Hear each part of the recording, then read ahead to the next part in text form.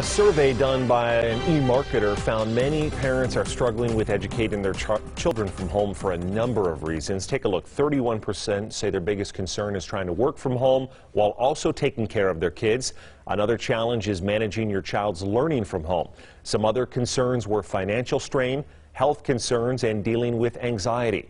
Kirsten Joyce joins us in studio now with some tips to help you take on your child's education this fall. Kirsten. Well, Brian, I'm sure you can understand as a parent, I know keeping your child engaged from home can be frustrating. There were days I completely gave up on it because I didn't want to tackle it myself. Well, John Hopkins School of Education has some great tips, and there are also some wonderful volunteers in our community to assist. First of all, you need to have an understanding of what your teacher expects for distance learning this fall, and then provide the teacher feedback on how it's working for you and your child. It's also important to have a schedule and stick to it so your child gets familiar with the process and the expectations. Limit distractions by having a designated study area and encourage movement throughout the day. Go outside for a walk, a bike ride, just so you and your child can get some fresh air.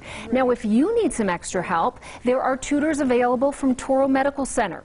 Second year med student Cassandra McDiarmid helped start an online free tutoring program to give back to the community it's exciting to see that there's a lot of parents who are still reaching out to have tutoring services for their students even over the summer. They're not in school right now, but they can still continue to keep up it's known as Med Ready. There is free tutoring for K through 12 as well as higher education tutoring, and these free services will continue through the summer and through the fall.